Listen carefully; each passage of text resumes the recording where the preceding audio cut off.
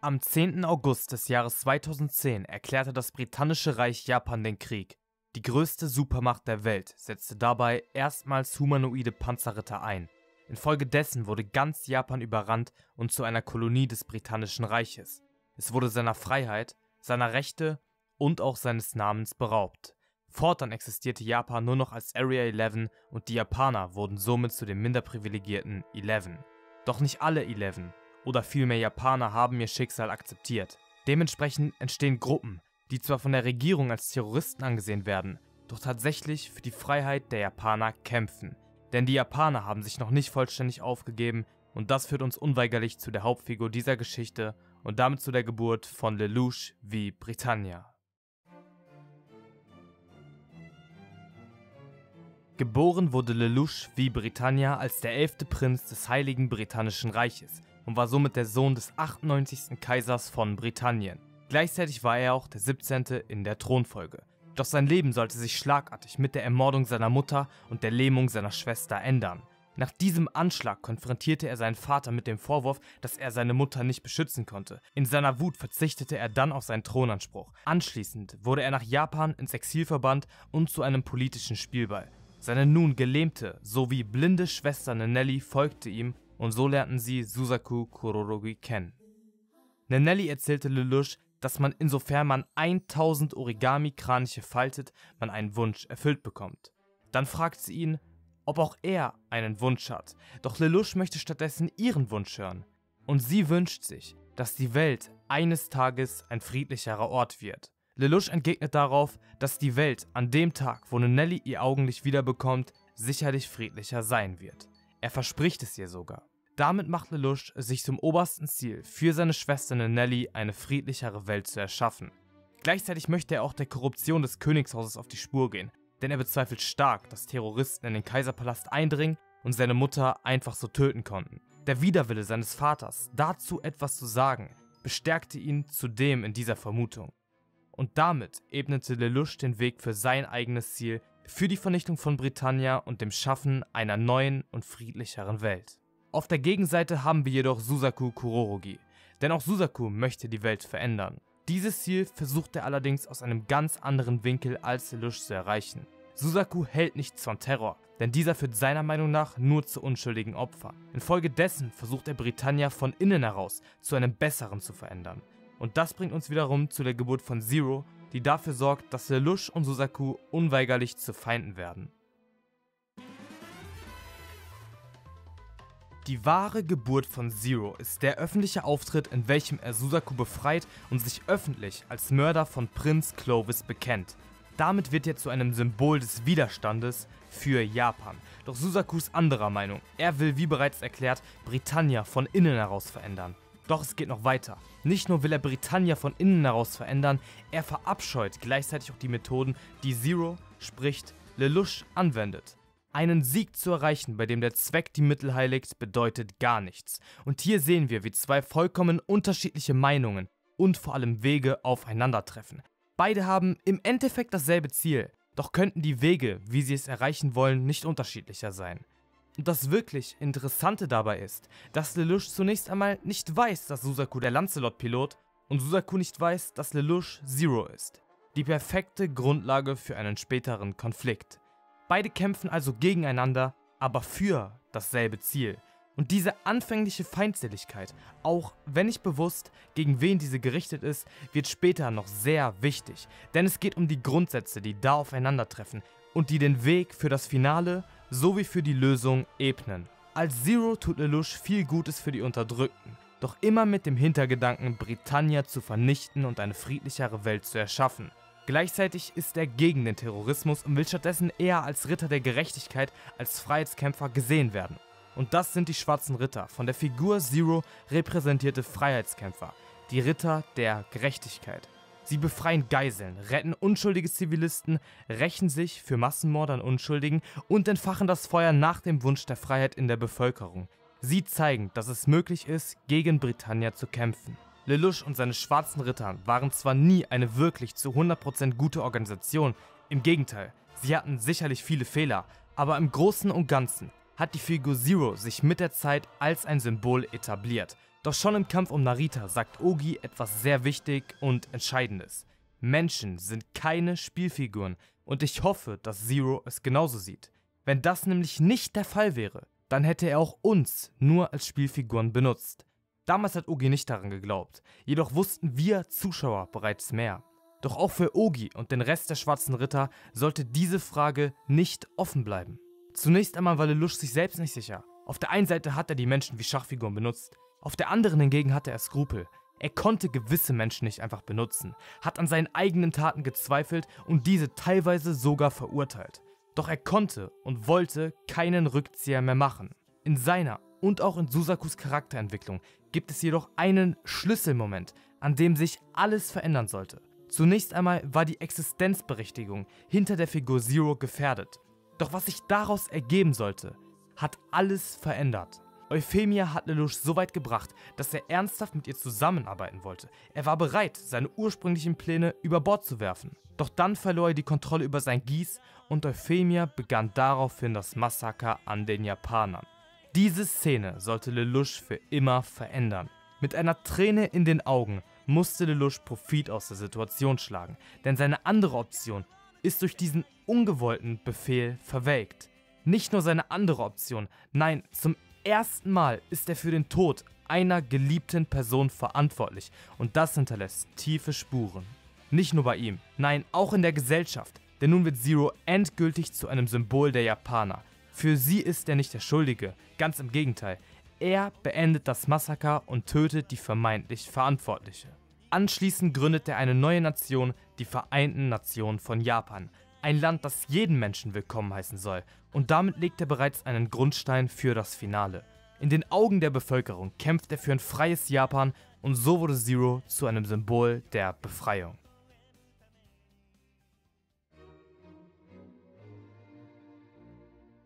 Und jetzt müssen wir über ein Kapitel reden, in welchem Lelouch endgültig seine Menschlichkeit zu verlieren scheint. Und die Rede ist nicht von Zero, sondern von Lelouch wie Britannia.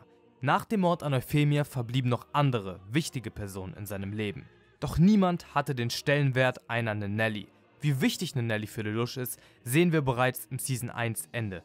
Er gibt seine persönliche Schlacht auf und eilt stattdessen zur Rettung von Nelly. Durch diese Tat verlieren die meisten schwarzen Ritter ihr Vertrauen in Zero und nicht nur das, nein, Kallen und Susaku erfahren endlich, wer hinter der Maske steckt. Und an diesem Punkt ist der wahre Dämon in Lelouch erwacht. Die falsche Maske ist sozusagen gefallen und Lelouch ist nun bereit, die Bühne der Welt zu betreten. Nicht als Freiheitskämpfer, sondern als Mann, der die komplette Weltherrschaft an sich reißen will. Doch bis er sich der Welt wirklich zeigt, vergeht nochmal ein bisschen Zeit, denn Lelouch wurde zunächst einmal durch seine Vergangenheit besiegt. Anschließend wurde Lelouchs Gedächtnis überschrieben, doch als es dann wieder zurückkam, fasste er den entscheidenden Entschluss. Die Welt wird sich verändern, ich werde sie verändern. Ich bin Zero, ich bin derjenige, der diese Welt zerstören wird und derjenige, der eine neue, bessere Welt erschaffen wird. Das Besondere an dieser Aussage ist, dass Lelouch sie als Mann ohne die Maske trifft. In diesem Fall ist er kein Unterdrücker, aber auch nicht der Freiheitskämpfer Zero. Er ist beides, doch gleichzeitig nichts von beidem. Diese Tatsache ist die entscheidende Variable für das Ende der Serie Code Geass. Lelouch ist ein Mann, der scheinbar immer nur gelogen hat. Doch dieses Schicksal muss er tragen, bis er sein Ziel, das Schaffen einer neuen Welt, erreicht. Er lügt so sehr, dass er selbst nicht mehr weiß, was wahr und was gelogen ist. Es gibt nur eine Wahrheit, die er nie vergessen wird seinen Traum, eine neue, friedlichere Welt für Nelly zu erschaffen. Und hier gibt es einen weiteren Wendepunkt in der Geschichte, nämlich den, als seine eigenen Lügen ihn beinahe getötet hätten. In seinem Gespräch mit Susaku gibt er ihm die Antworten, die Susaku selbst hören will. Susaku wollte hören, dass Lelouch seine Taten aus Egoismus begangen hat und somit tat er ihm den Gefallen. Und hier wird auch wieder die Geschichte um Euphemia wichtig, denn Lelouch hat sie nicht bewusst zum Massaker verleitet. Das wissen wir. Und das ist somit unsere Bestätigung, dass Lelouch Susaku in dieser Szene anlügt. Doch diese Lügen erreichen auch die schwarzen Ritter. Sie erfahren von seinem Gieß, von seiner wahren Identität. Das Vertrauen in den Mann hinter der Maske zerfällt in tausend Teile und verwandelt sich in schieren Hass. Es ist jedoch genauso wie Dieter sagt. Die Öffentlichkeit weiß nicht, wer hinter der Maske steckt. Sie wissen nicht, dass Lelouch wie Britannia der Mann hinter der Maske ist. Für sie bleibt Zero ein Symbol. Auch wenn er tot geglaubt wird, so bleibt er doch der Mann, der Wunder bewirken kann. Und auch die schwarzen Ritter existieren weiter. Und das bringt uns zu der Machtergreifung von Lelouch wie Britannia. Er hat Charles getötet und erklärt der Welt nun, dass er der 99. Kaiser Britannias sei. Diese Machtergreifung klappt durch sein Gieß auch einwandfrei. Im Folgenden krempelt Lelouch ganz Britannia um und zerstört sogar das vorherrschende Adelssystem. Er ist somit der Einzige mit einem Adelstitel. Zunächst einmal macht ihn dieser Schritt in der Bevölkerung sympathisch, nur um dann durch das Ausnutzen seiner Macht, um mit einem Schlupfloch die Demokratie zu übernehmen und damit zum Diktator zu werden. Als er dann auch noch Schneitze besiegt, gibt es niemanden mehr, der ihm diese Position nehmen kann. Damit wird Lelouch zum alleinigen Weltherrscher. Somit zerstört er alle Sympathie für ihn und wird zu einer Person, die von der ganzen Welt gehasst wird. Selbst das Euphemia-Massaker rückt in die Vergessenheit durch den Hass, den Lelouch in den Menschen ausgelöst hat. Und das bringt uns zu dem Ende aller Versprechen. Dem Ende der Serie Code Geass.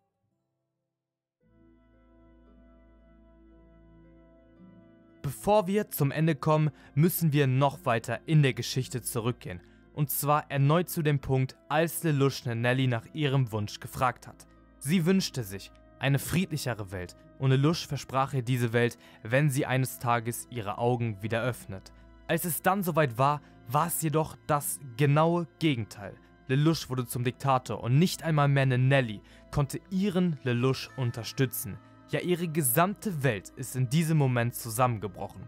Bis zuletzt hatte sie Hoffnung in sich, doch als Lelouch bemerkt, dass seine Ziele nicht mit den ihren kollidieren, hat er sein Gieß angewandt, um eine friedlichere Welt zu erschaffen. Das alles aber unter dem Deckmantel des grausamen Diktators.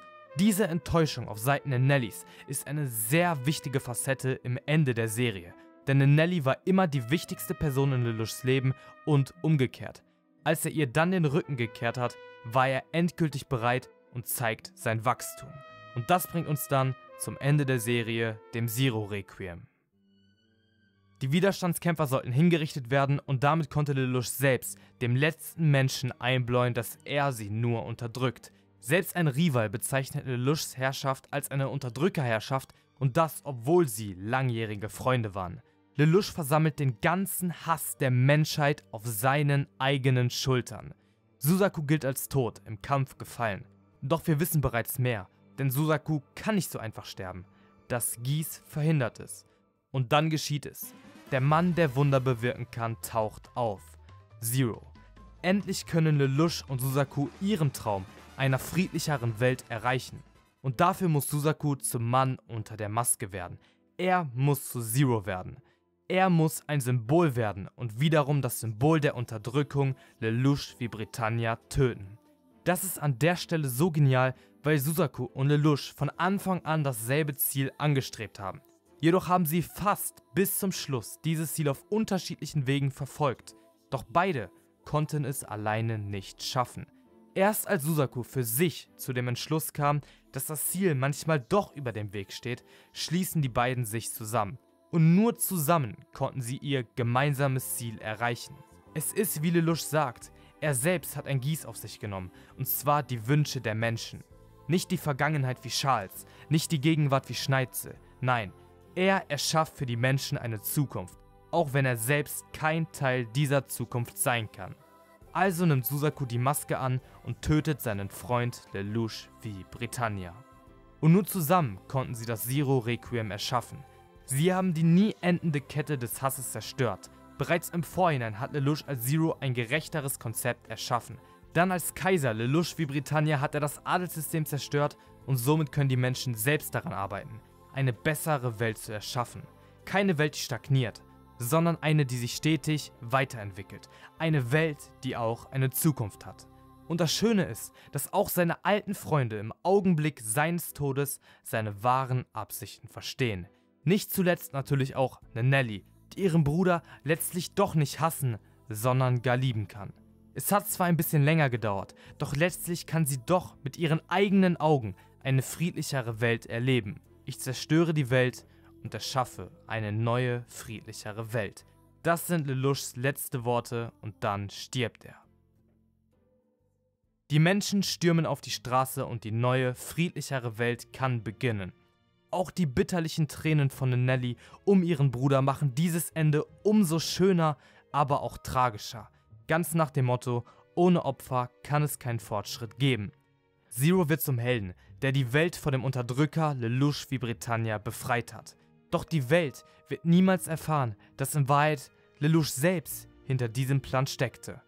Daraufhin bekommen wir einen Zeitsprung und Cullen erzählt, wie sich die Welt verändert hat.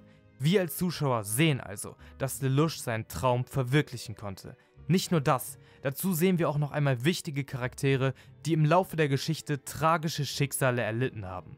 Doch nun können auch sie glücklich sein und in die Zukunft blicken. Sie können die noch vorhandenen Probleme am Schopfe packen und daran arbeiten. Genau das ist es, was sich Lelouch für die Welt und die Menschen gewünscht hat. Eine Zukunft.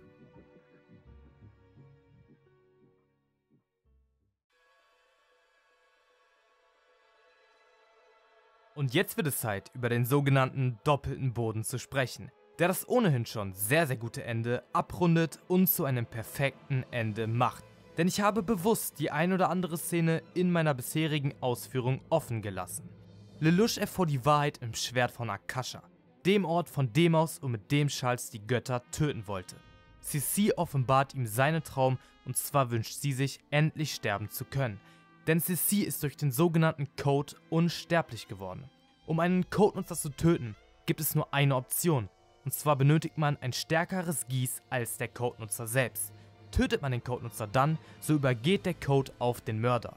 Allem Anschein nach ist es dann so, dass man einmal sterben muss und daraufhin die Kraft seines Gieß verliert und fortan unsterblich ist. So schien es zumindest bei König Charles und auch bei Sissi. Aber zu 100% können wir nicht sagen, dass es so ist, was den doppelten Boden überhaupt erst so spannend und möglich macht.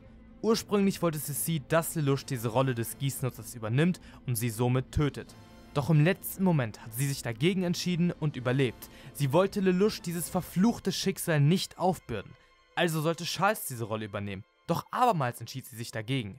Und der Grund war offensichtlich erneut Lelouch. Denn auch wenn es nie eindeutig gesagt wurde, lieben die beiden sich einander. Oder haben zumindest vergleichbar innige Gefühle zueinander.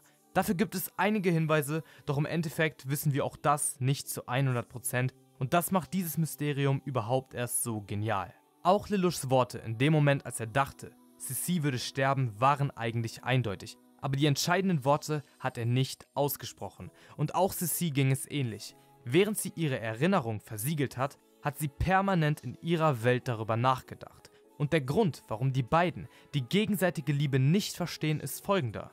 Sissis Gieß hat dafür gesorgt, dass alle Menschen sie lieben. Dadurch ist für sie mit der fortlaufenden Zeit die Bedeutung hinter der Liebe immer weiter verschwommen. Und auch Lelouch konnte seine wahren Gefühle noch nie richtig zur Schau stellen. Dafür hätte er nämlich sein wahres Ich zeigen müssen. Doch das fällt einem Menschen, der immer nur gelogen hat, nun mal nicht so einfach.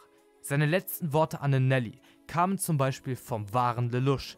Doch das war eben der Moment, wo die wahre Maske gefallen ist. Und diese Maske sowie das Gieß sind der Grund, warum sowohl Sissi als auch Lelouch diese Liebe immer nur unterbewusst wahrgenommen haben.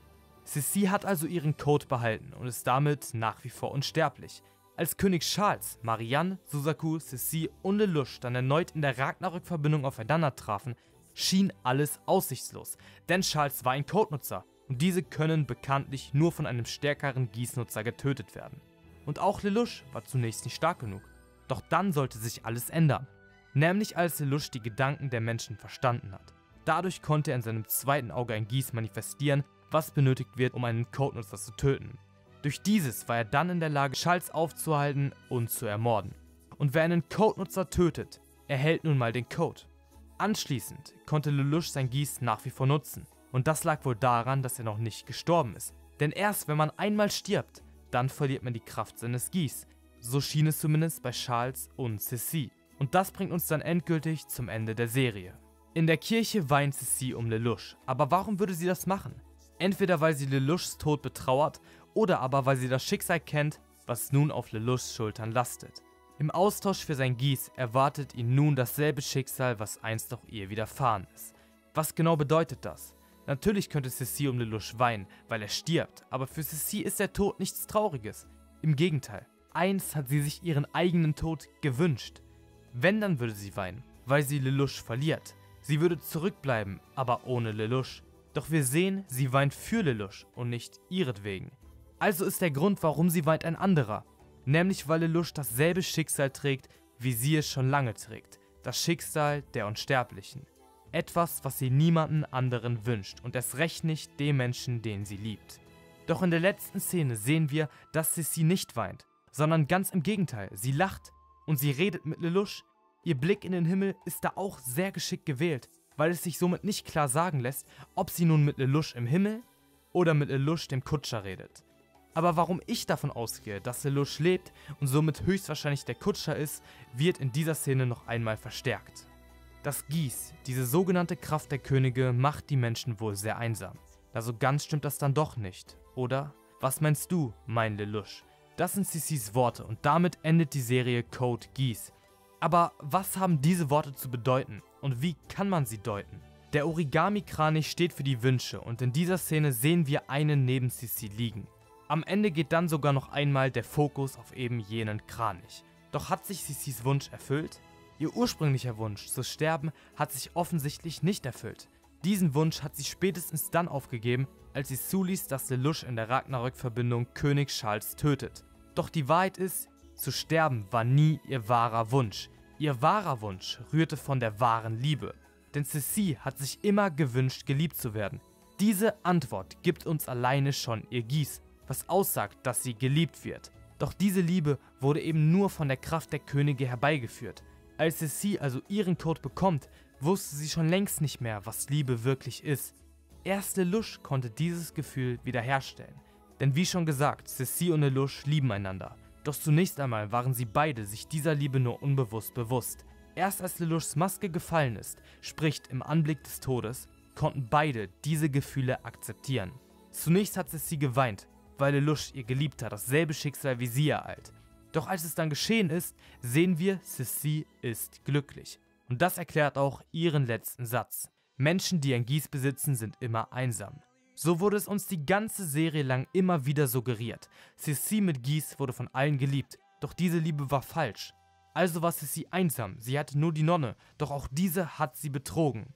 Rollo wurde immer benutzt, hatte dann Lelouch, doch auch dieser hat ihn betrogen. Und es gibt noch mehr Beispiele, siehe Charles und Vitou. Lelouch lebte unter einer Maske und war demnach auch einsam, da er sein wahres Ich nie zeigen konnte. Nur Sissi konnte er sein wahres Ich offenbaren. Doch auch Sissi wollte ihn betrügen. Doch hier ist der entscheidende Faktor. Im Endeffekt hat sie es doch nicht getan. Und im Endeffekt macht die Kraft der Könige demnach nicht immer einsam. Denn nun sind Sissi und Lelouch vereint. Lelouchs Maske ist mit dem Schaffen einer neuen, friedlicheren Welt gefallen und Sissis wahrer Wunsch kann sich endlich erfüllen. Endlich wird sie geliebt und kann jemanden lieben. Auch sie kann nun die neue Welt von Lelouch erleben. Zu guter Letzt gibt es noch ein weiteres Detail, welches ich beinahe übersehen habe, denn das Ende zwischen Nelly und Lelouch wurde durch ein bestimmtes Ereignis bestimmt, nämlich dass Nelly Lelouchs Erinnerung sehen konnte. Und diese Fähigkeit konnte nur von Code und nicht von Gießnutzern ausgelöst werden. Also erneut ein Beweis dafür, dass Lelouch ein Codenutzer und somit unsterblich ist. Und hier bei Sissi und Lelouch passt dann auch das berühmte Sprichwort. Und wenn sie nicht gestorben sind, dann leben sie noch heute.